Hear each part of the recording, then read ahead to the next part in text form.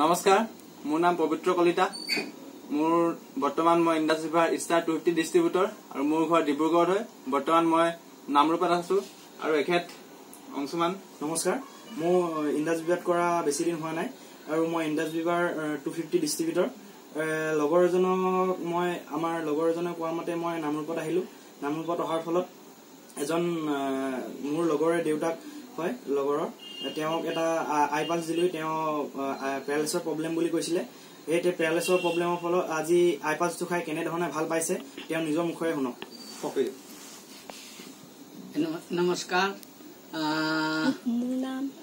আপোনাৰ I pass খাই পিনি মই ভালেই পাইছোঁ। ভাত পানী ভালকে খাইছোঁ। আহ, ল- লৰা লৰি কৰিবলৈ পৰা নাই নিচিনা হাতখন। এই ভালেকে অলপ ভালকে মাৰিবলৈ পাৰিছোঁ। অলপ অলপ বাৰী জাৰি জংঘল চাফা কৰিবলৈ পাৰিছোঁ। আৰু আপুনি আমাৰ আই পাছটো কিমান দিন ব্যৱহাৰ কৰিলে? আপোনাৰ আই পাছ ঊনত্ৰিছ তাৰিখ পৰা আজি কিমান তাৰিখ? প্ৰায় দিন প্ৰায় বিশ প্ৰায় দিন মান বিশ- আপুনি ব্যৱহাৰ কৰিছে। বিশ দিন নিচিনা মই খালো। অ, সেই বিছ দিনত আপুনি ভাল ৰিজাল্ট পাইছে। বিশ- এইটো বিশ দিনৰ ভিতৰত মই ভাল ভাল মানে ৰিজাল্ট পাইছো। ঠিক আছে আপুনি আমাৰ এটা আই পাছ খাইছে আৰু খাবলৈ আছেই।